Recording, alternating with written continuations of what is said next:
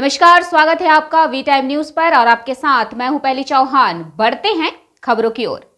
सिसई प्रखंड सह अंचल कार्यालय के सभागार में लोहर दगा ग्राम स्वराज्य संस्थान व कैलाश सत्यार्थी चिल्ड्रेन फाउंडेशन के संयुक्त तत्वावधान में एक्सेस टू जस्टिस कार्यक्रम के तहत बाल विवाह मुक्त भारत को लेकर प्रखंड स्तरीय कार्यशाला का आयोजन प्रखंड विकास पदाधिकारी सह बाल विवाह निषेध अधिकारी सुनीला खलखो की अध्यक्षता में हुई प्रखंड विकास पदाधिकारी सुनीला खलखो ने कहा कि बाल विवाह, बाल श्रम और बाल शोषण के ये तीन मुद्दा समाज के विकास में बहुत बड़े बाधक है।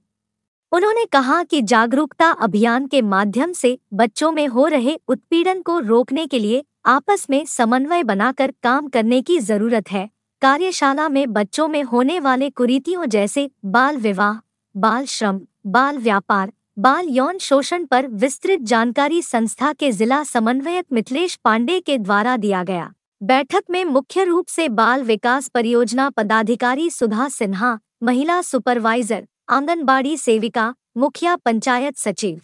संस्थान के क्षेत्रीय प्रतिनिधि विक्रमोहदार राजेश साहू, दिनेश यादव एवं सरस्वती उराम सहित अन्य कर्मी उपस्थित थे।